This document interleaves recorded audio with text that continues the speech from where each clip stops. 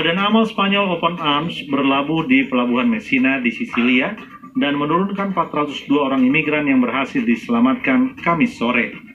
Anggota Open Arms menyelamatkan 402 orang yang berusaha menyeberangi Laut Tengah menuju Eropa dengan kapal tongkang yang penuh sesak. Dalam penyelamatan ini ditemukan salah satu imigran yang tewas tertembak.